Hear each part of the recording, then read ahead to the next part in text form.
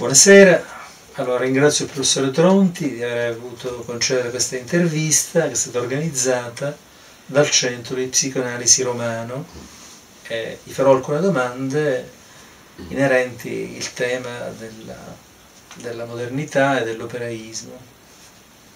Eh, devo dire che la, lo stimolo a questa intervista è venuto dopo aver letto nel settembre del, di quest'anno un'intervista da lui rilasciata da Antonio Agnoli sulla Repubblica, un'intervista che mi è sembrata estremamente interessante per una serie di questioni che tenterò di riprendere qui, sia di ordine generale sui bilanci della politica o dell'impegno politico di circa 40 anni fa, eh, ma anche per alcune questioni che riguardano le opzioni filosofiche, che riguardano se vogliamo anche la scientificità delle teorie, quindi in questo senso mi sembrava utile riprendere dei punti di quell'intervista e rilanciarli e avere una, un colloquio diretto con lui. Appunto. Allora, tanto per dare un inquadramento perlomeno storico, eh, volevo che, che, lei gentilmente potesse spiegare a, a, alle persone del video cosa ha significato questa cultura dell'operaismo negli anni 60, eh, quale tipo di personaggi intellettuali in fondo l'hanno, se vogliamo, l'hanno motivata, l'hanno portata avanti?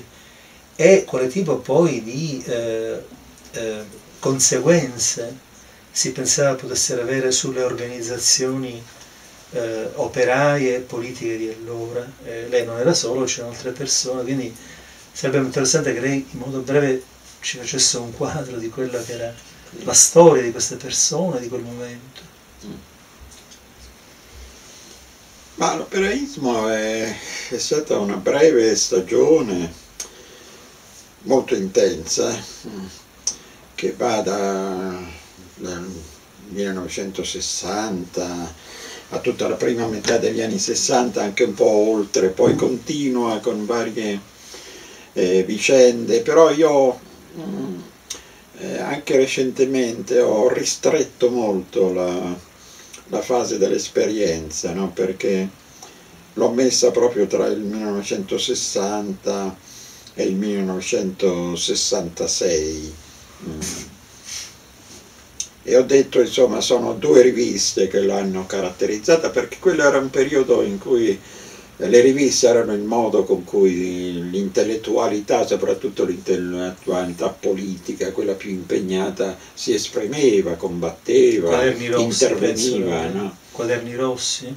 Quaderni Rossi era stata la prima di queste riviste e lì ruotava intorno a una personalità eccezionale che io ho avuto la fortuna di incontrare alla fine degli anni 50 e che era Raniero Panzieri.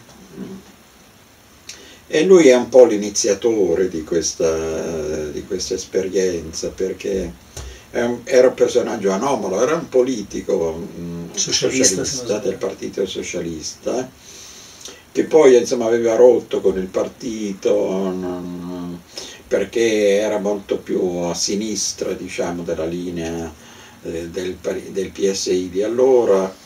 E, quindi eh, abbandonò poi la, mm, la politica attiva mm, eh, si trasferì a Torino dove venne insomma, eh, preso in, eh, al lavoro da Inaudi come redattore di Einaudi e lì mise insieme proprio a Torino, non a caso a Torino, era una città Operaia. il cuore del, del, mondo operaio italiano, lo è sempre stato. Mm. su un gruppo di giovani eh, ricercatori eh, in gran parte di, di formazione di scuola sociologica.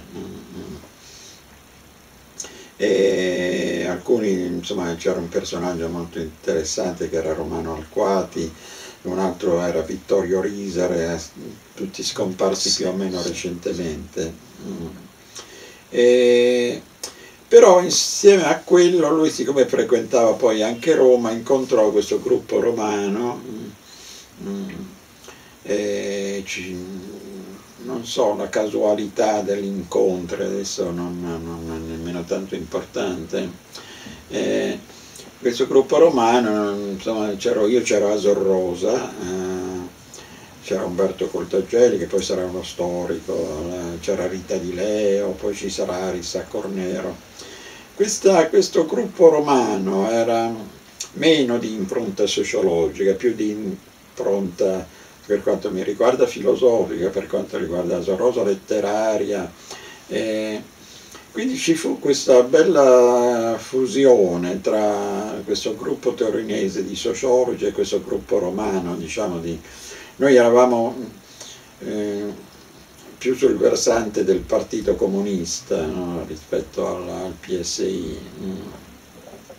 E questo incontro diede vita a questa rivista che si chiamava Quaderni Rossi, che era una rivista annuale che si, eh, ne uscirono alcuni numeri dal 61 al 65.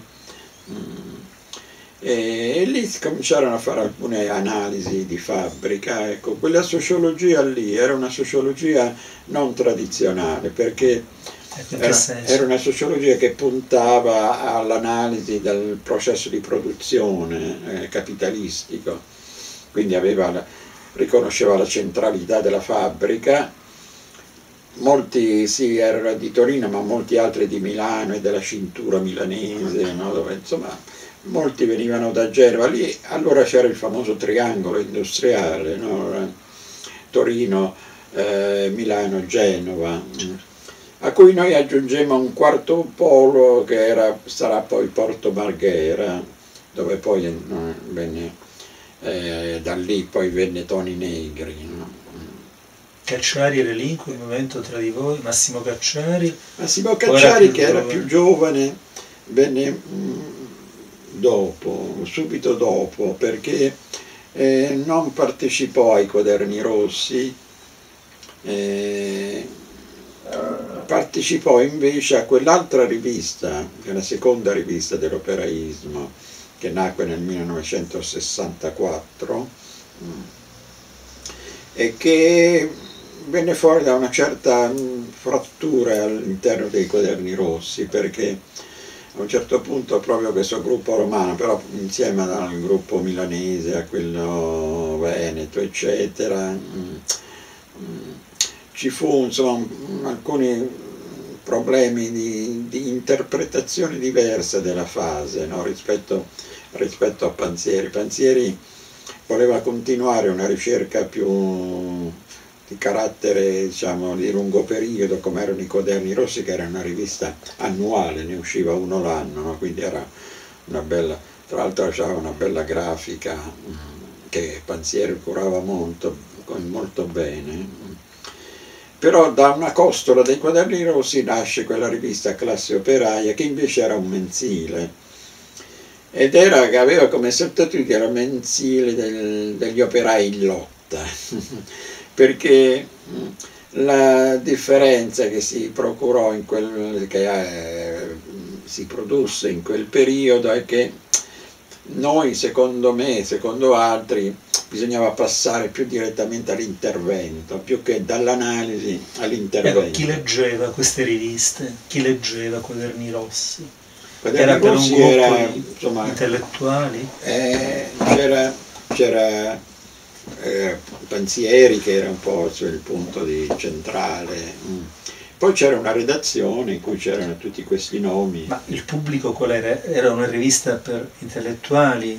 Beh sì. E classe operaia pure o tentò di una divulgazione? Beh, insomma, c'era una diversità perché mentre mm, Quaderni Rossi era una rivista che si rivolgeva so, soprattutto a un, un ceto intellettuale, anche di sinistra. Certo. Eh, l'ambizione di classe operaia è di superare questo e di andare direttamente. Infatti noi portavamo questo giornale davanti alle fabbriche, lo facevamo quindi c'era anche una militanza, eh? una militanza, una militanza diretta, diciamo, no? La, con grandi difficoltà perché intanto il sindacato vedeva questa cosa in modo molto critico, anzi a volte con una posizione anche Beh. forte, perché in fondo non era mai capitato che degli intellettuali andassero a parlare direttamente agli operai. Allora il filtro del sindacato, il filtro del partito non è come oggi che non,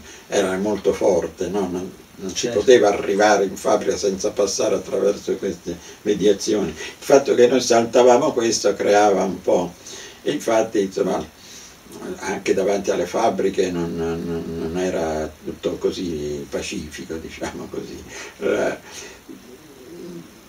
Poi facevamo dei, dei, dei, dei volantini, che noi intervenivamo nelle lotte, no? cioè quando c'erano le lotte soprattutto dei metalmeccanici e del mm, metalmeccanici, chimici, tessili, era un po' questo il, il fronte, diciamo, operaio più avanzato.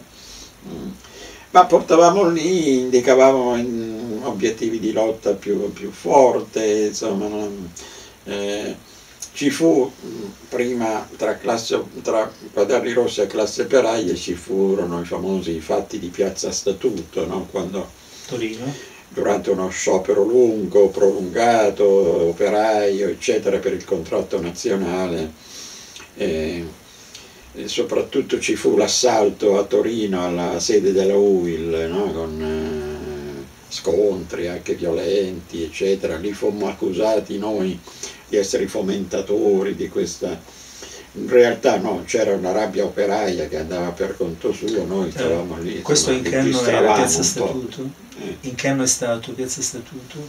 Eh, credo nel 62. Eh, il, 62 è stato, il 62 è stato l'anno di massima eh, intensità delle lotte. Ma nel 60 ci sono state anche le altre attività di piazza, credo che a Palermo è stato ucciso un operaio, nel 60 sono sì. stati dei movimenti diciamo sporadici, ma... Sì, lì... sì, beh, la cosa... Lì era... Ma sai, quella, quella cosa lì, insomma... Eh, noi eravamo degli interpreti di una fase, non, so, non è che inventavamo niente, in realtà in, in, quel periodo, fine anni 59, visto anche dalle domande, dalla prima domanda che, che facevi, eh, e cioè qual era il, il, contesto di queste cose? Beh, il contesto era molto, molto forte, molto preciso, molto specifico, perché tra la fine degli anni 50 e gli inizi degli anni 60, secondo me, secondo noi allora era avvenuta qualche cosa che in Italia non era mai avvenuto, cioè lì c'è stato veramente il passaggio dell'Italia a paese capitalistico avanzato, no? perché fin lì era considerato ed era di fatto un paese a capitalismo arretrato, no? di impronta contadina, Invece ci fu quel boom della industrializzazione, soprattutto 60, del nord, appunto. con il passaggio dal sud al nord di centinaia di migliaia Fiat, di cioè. contadini che si inurbavano e diventavano operai. E, e lì nasce insomma, quel paese che poi abbiamo conosciuto dopo. E, secondo me lì nasce veramente per la prima volta in Italia un, un capitalismo vero, no? perché fin lì insomma c'era stata l'Italietta no? che fino, a, fino a, molto, a, molti degli anni 50 eravamo ancora quel paese lì, insomma un po' fuori ai margini della modernizzazione. Lì cominciò la grande modernizzazione, poi lì ci illudemmo un po' noi perché pensavamo che questo fosse un fatto permanente, che quindi l'Italia fosse ormai arrivata a questo livello insomma, di paese avanzato. Allora sì, questo diciamo, quadro di contesto è molto interessante ed è pieno di elementi anche che forse sono utili per la nostra comprensione oggi dell'Italia, ma eh, ci interessava anche capire qual è stato poi l'esito sul piano organizzativo politico di queste vostre analisi, di questo vostro movimento spontaneo, cioè quale dialogo ha avuto con le organizzazioni politiche o con organizzazioni autonome separate dai partiti e dai sindacati? Sì, l'esito è stato insomma, un po' contraddittorio, no? perché quelle, quell'impresa lì fu fortunata in questo senso che ha preceduto che cosa? Ha preceduto il 68. Eh, c'è stato tra il 66 e il 68 così come dire il movimento un po' dormito no? e sembrava estinto nel 66 esce Operai e Capitale che è questo libro in cui raccoglieva alcune cose appunto dei quaderni rossi di classe operaia poi aggiungevo un lungo saggio marxiano eccetera eccetera mm.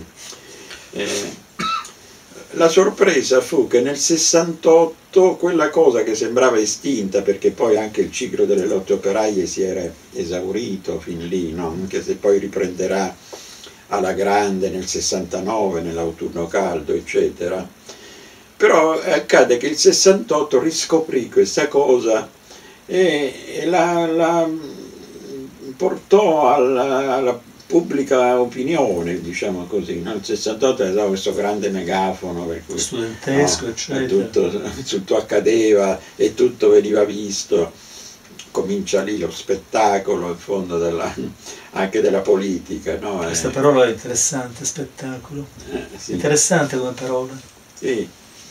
Eh, e lì queste cose, per esempio per Aia Capitale, che era esaurito da Einaudi, eh, non esisteva, veniva ciclostilato, allora c'erano i famosi ciclostili, no? La, e girava ciclostilato nelle università, nelle scuole, eccetera, eccetera. Per cui io ricordo sempre, la, l'ho sempre, l'ho sempre insomma, richiamata alla mente di una, di una volta dei di quei grandi cortei che si facevano degli studenti, dei giovani, degli studenti nel 68, mi ricordo sempre proprio in via del corso, allora si diceva eh, eh, potere, no? potere agli studenti, potere ai giovani, a un certo punto mi ricordo che a mia sorpresa venne fuori un grido che diceva potere operaio, potere operaio, no? e io dissi ma per la miseria abbiamo sfondato no, su questa, questa, cosa, perché era una, evidentemente era, nuovo. era stato seminato qualche eh cosa che rinasceva in un'altra, in un'altra forma. Infatti poi questo operaismo che secondo me si conclude lì, si conclude praticamente con Operai e Capitale perché poi, come lei ha ben visto, io insomma prendo altre strade, però ha una continuità non solo dopo il 68, il 69 lo riporta sulla scena alla grande perché fu la grande spallata operaia alla, no, alla dove per la prima volta salario e profitto si misurarono alla pari no? e il salario arrivò a, erodere il profitto, questa è la, è la grandezza dell'autunno caldo del 69. Però da lì nacquero una serie di gruppi mh, mm, che saranno mm, lotta continua per esempio e uno potere operaio che si richiamavano direttamente certo. a quell'esperienza operaia con dei loro giornali, operaia, con no? loro giornali autonomi e, e tutti i gruppi ristretti. Io lì seguì una, una, una strada diversa perché fui io a un certo punto nel 67 a dire ai miei, io ero il direttore di classe operaia quindi ero un po' il punto di riferimento. Fui a dire beh adesso chiudiamo no? E chiudiamo perché? perché mi ero accorto di questo che mh, molti di questi giovani tra l'altro bravissimi io ho sempre detto non ho trovato persone più più interessanti di quelle che insomma, incontrai allora poi no, nella, nella, politica, eh, perché erano giovani veramente straordinari, tra l'altro colti, ma poi disinteressati, mh, mm, credevano in quello che facevano, eh. però erano tutti orientati in senso quello che poi diventerà insomma, quelli che diventeranno i gruppi, i gruppi estremisti. No? La, io che ero di formazione comunista perché io ho sempre raccontato che prima di diventare operaista io sono stato comunista. No? Anche la sua famiglia lo era, mi dice. Venivo dal PC, quindi venivo da una scuola diversa, ho sempre concepito l'esperienza operaia come qualcosa che stava dentro il movimento operaio, no? Mm, dentro le organizzazioni del movimento operaio, non, non fuori, non contro c'era quello mio slogan che diceva dentro e contro, no? Dentro il PC e contro il gruppo dirigente, dentro il sindacato e contro i sindacalisti, eccetera, però dentro. I gruppi che cosa facevano? Fuoriuscivano no? e si contrapponevano a questo e poi avevano questa mentalità di gruppo. Io mi accorsi che questi giovani eh, tendevano a diventare a essere settari, tendeva, cioè l'operaismo secondo me non doveva sfociare nell'estremismo, eh, perché io sapevo bene che cosa era l'estremismo, cioè l'isolamento di piccoli gruppi che, fanno, che poi in sé fanno piccole chiese, no? infatti questi gruppi poi hanno avuto una strana, uno strano sviluppo, no? perché potere operaio cominciò a fare, una parte era pubblica, una parte era clandestina, quindi certo. cominciarono a eh, fare le cose insomma insieme, poi si cominciavano ad armare, poi si cominciavano, poi coltivavano la violenza. Io lì mi sono fermato, dico no, qui non, no, no, non, non si arriva a questo, lotta continua lo stesso, no? Cioè c'è un un rapporto, molti di, di quei gruppi, molti, alcuni, ma non pochi, sono, stati, sono passati poi al terrorismo degli anni 70, purtroppo, insomma, no? E io li ho sempre guardati insomma, con, con, molta diffidenza perché non, non, non, si deve mai arrivare no, a quella, appunto perché venivo eh, da un'altra scuola. Poi stato, c'è stato anche un fatto interessante che molti di quei gruppi, anche lì ho visto che nella domanda c'è questa consapevolezza, molti arrivarono a questo estremismo non solo parolaio ma anche violento, altri dopo l'esperienza di gruppo si riaggregarono dentro l'establishment, no? dentro, dentro, le classi dirigenti. Certo. Se, se nel mondo del giornalismo, eh, della sì, televisione, questo, sì. si trovano tutti, ma ex lotta continua, certo. ex potere operaio, no? però stanno tutti lì ben sistematici. Certo. No? Ci fu questa cosa strana. Che questa doppia, questa doppia via che seguirono i gruppi ma secondo me era proprio l'idea di gruppo no? che non doveva... Io ho sempre pensato che l'organizzazione deve essere una grande organizzazione, no? cioè deve essere una forza eh, di massa, non può essere di quattro persone che si riuniscono clandestinamente nelle cantine per, fare le, per, per provocare poi cose che non devono essere provocate, eccetera. Quindi eh, in questo modo insomma, un esito politico quindi dell'operaismo fu questo. C'è un altro esito che invece io sottolineo molto ed è la, invece lo sviluppo di quelle persone che avevamo citato all'inizio, no? il gruppo dirigente, il intellettuale, gruppo sì. lì, eh, che dall'operaismo eh, ha considerato l'operaismo come un periodo di formazione anche politica, ma anche intellettuale. No? E appunto lì la personalità di Cacciari, per esempio, risalta in modo evidente, perché Cacciari nel tempo delle classi operaie era un militante di classi operaie. A, a Porto Marghera faceva anche lui sì, la, sì. La, no, il volantinaggio davanti alle fabbriche e così via. Mm a Rosa qui a Roma andava presso gli edili no, a fare le, le, cose. Però poi queste singole personalità presero, insomma, diventarono, sono diventati quelli tra i più importanti intellettuali italiani. No? È un gruppo che è rimasto ancora molto coeso perché insomma, tra questo gruppo è nata un'amicizia con Massimo Cacciara, chiamavamo sempre un'amicizia stellare, eh, che dura tuttora, no? dura tuttora, noi ci continuiamo a vederci, continuiamo a stare insieme, a pranzare insieme, a, a passare giornate insieme. Eh. Ognuno avendo dato poi un contributo alla cultura italiana di notevole livello, perché lì c'era per esempio uno come Arisa Cornero. Arisa Cornero è un personaggio molto interessante perché era un operaio della RIV. E poi fu licenziato per licenziamento politico dalla RIV e passò all'unità.